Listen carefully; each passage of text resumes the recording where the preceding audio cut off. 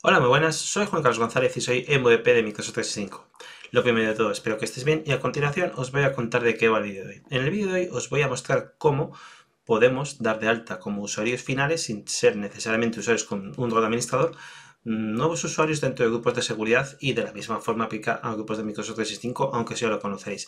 Os lo voy a contar porque esta petición salió en el contexto de un proyecto que estoy realizando para un cliente en el que me decía, oye, me parece muy bien que me recomiendes que se garantice acceso a sitios de SharePoint con grupos de seguridad, pero ¿cómo hago que mis usuarios sean autónomos dando de alta o incorporando nuevos miembros a esos grupos de seguridad? Pues os voy a mostrar cómo lo podemos hacer con la interfaz de usuario de SharePoint.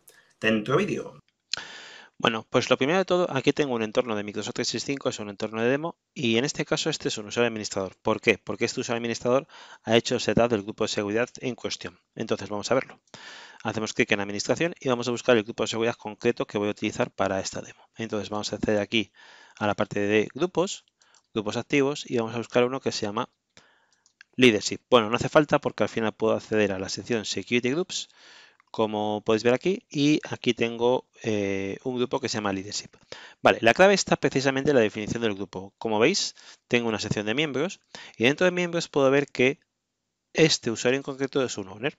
Bueno, como le estoy dando el privilegio de owner, mm, de alguna forma va a ser capaz de añadir nuevos integrantes a este grupo de seguridad, tanto owners como members. ¿Cómo lo va a hacer? Esa es la clave, sin depender de IT, es decir, sin tener que abrir una petición pues, o por correo por el sistema de ticketing que tenga eh, implantado una organización.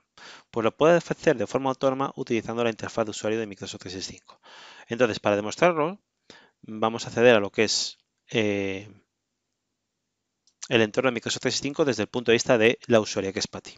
Entonces hacemos clic en una pestaña nueva y a continuación accedemos a lo que es eh, la página principal de Office 365. Estoy en ello, estar hacer un poco conmigo. Bueno, es office.com, iniciamos sesión y aquí está Patti Fernández. Entonces, lo que tiene que hacer Patti para poder acceder a la gestión de los grupos en los que es integrante o propietaria, en este caso nos interesa propietaria, es hacer clic en ver cuenta.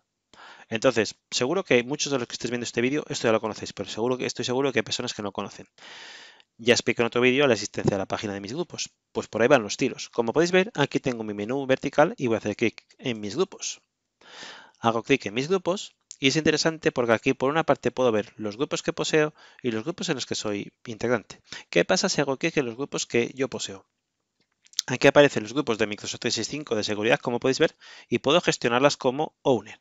¿Qué significa eso? Que puedo añadir integrantes. Entonces, si hago clic en Leadership, en este caso, fijaros que me puedo ir a la sección Members y ¡pum! Puedo hacer clic en añadir y aquí, pues puedo, por ejemplo, decir que Néstor Vilke a partir de ahora va a ser integrante de este grupo y puedo decidir si quiero que sea miembro owner y miembro owner. Y acordaros que es importante en función de lo que queréis eh, que realice este usuario que mm, si tiene que realizar algún tipo de acción que tiene que ver con ser miembro del grupo es necesario que sea eh, si va a ser owner, también sea miembro. Eso es muy importante. Bueno, en este caso no me lío, vamos a añadirle como member y ya automáticamente pues este grupo de seguridad lo estoy gestionando de forma independiente. Me puedo ir por ejemplo, este sitio de SharePoint que veis aquí. Bueno, este en concreto no, porque no tengo acceso. Vamos a, em, hacer clic en lo que es la aplicación de SharePoint para buscar un sitio de SharePoint en el que tenga acceso. ¿Vale? Eh, es curioso que me salga aquí benefits desde el punto de vista del buscador porque realmente no debería. Pero, por ejemplo, bueno, imaginaos que al final eh, hacemos clic en cualquiera de estos, en Contoso Video Portal, por ejemplo, que espero que sí que tenga acceso. Entonces, bueno, yo al final, desde el punto de vista de añadir usuarios al sitio, fijaros que yo puedo decir SG, perdonad,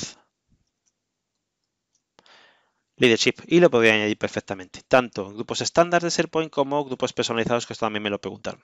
Con lo cual, fijaros, un usuario puede ser perfectamente independiente, no solo a la hora de dar acceso a sitios de SharePoint a usuarios, sino además hacerlo siguiendo buenas prácticas que es en lugar de hacer, dar el acceso directamente al usuario, hacerlo a través de un grupo de seguridad, porque es capaz de mantener lo que es el membership de los grupos de seguridad en los que el usuario es owner. Sin más, hasta aquí llega el vídeo de hoy. Espero que sea un resultado interesante, espero que estéis bien y como siempre, si no lo habéis hecho, os animo a que hagáis clic en la campanita que aparece en vuestras pantallas para que os suscribáis a mi canal de YouTube y bueno, así podéis estar al día de contenido nuevo que vaya generando. Pues ya veis en este caso un pequeño tip de gestión de grupos de seguridad desde, desde el punto de vista de usuario final o en, en torno a Teams, en torno a SharePoint, en torno a Copilot, etc. Sin más, nos vemos en el próximo vídeo. Chao, chao.